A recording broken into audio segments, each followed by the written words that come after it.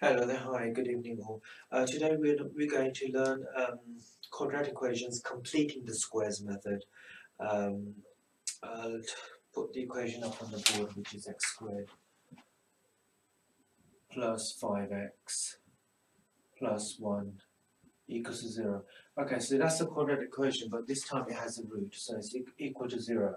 Okay, so this actually equals to 0 acts as a function so we can also say fx equals to y, okay? So when you put the input values of x, you get the values of y. So x is your input and y equals to your output, okay? So also this part also acts as a function. Okay, let's start by solving the equation, but we're going to use the completing the square method. Okay, now in complete, completing square method, we have a general formula which is x plus b over 2, the whole thing's squared minus b over 2 bracket squared. Okay, so that's the general formula we apply when we when we use the method completing the square method okay?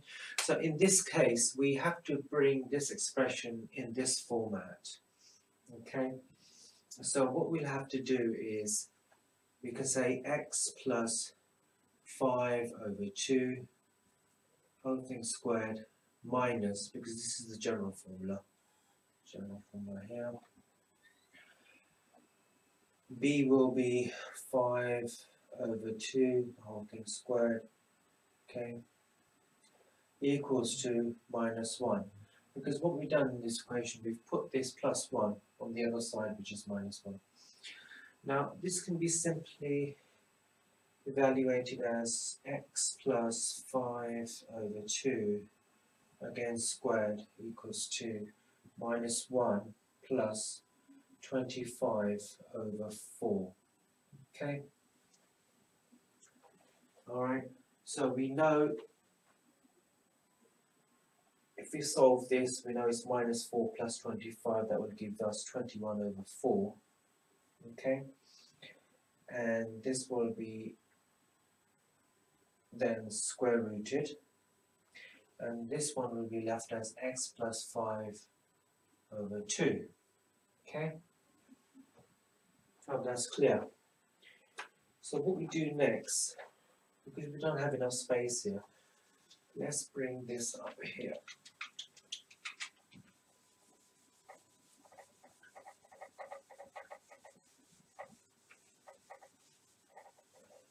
Okay. So that's the quadratic equation. We break it down into this format and we further evaluate it. So then what I'm going to do I'm just going to bring this bottom part up here. So goes up here like that. So this will be x plus 5 over 2, just copying it again, copying it, sorry, it's 21 over 4, let's put 21 and we put this over 4, okay, that's clear. So let's take here, put 21 square root here, because we know that 3 times 7 is 21, we put 2 here. Okay, so what we need to do next, let me just wipe this out as well.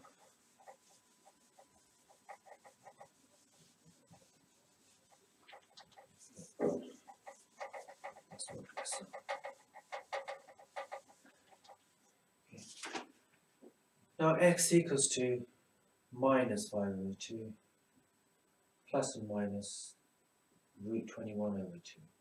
Okay. Now we'll have two equal roots in this case. Okay. So x equals 2 minus, if you want to solve this, I'll be minus 0.21 or plus 0.21. Okay. Yeah. Okay, because we have minus 0.21 and plus 0.21 here. So these two roots are equal and if you were to draw a scatter graph, it will be a, uh, parabola shape. So it'd be something like this.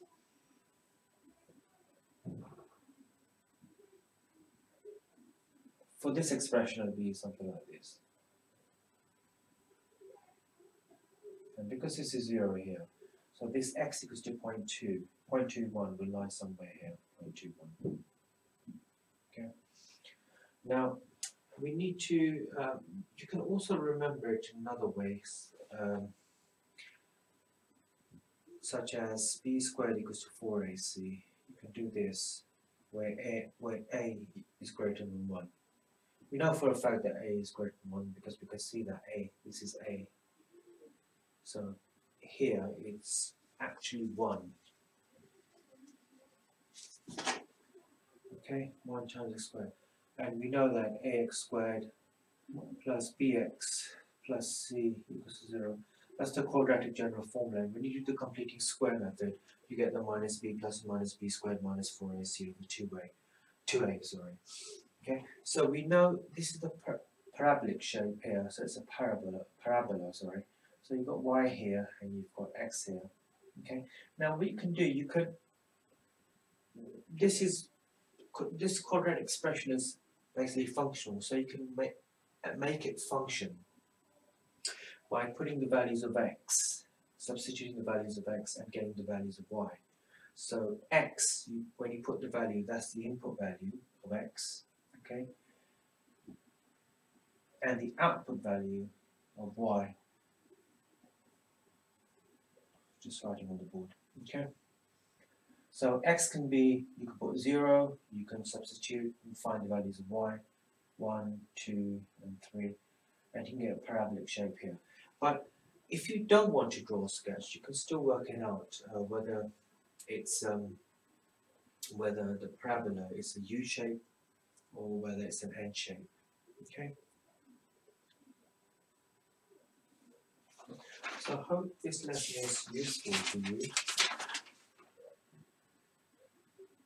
Yeah, um, that's it really. So um, yeah, please try this, you know, in your own free time. Um, substitute the values of x and find the values of y. And this can be like this, function of x, okay? So when you when you put the values of f1, x is 1, and then f2, yeah? So these are values of x, 3.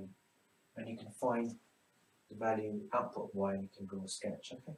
So, yeah, so I hope this lesson is useful and uh, we'll see you in the next lesson. Thank you.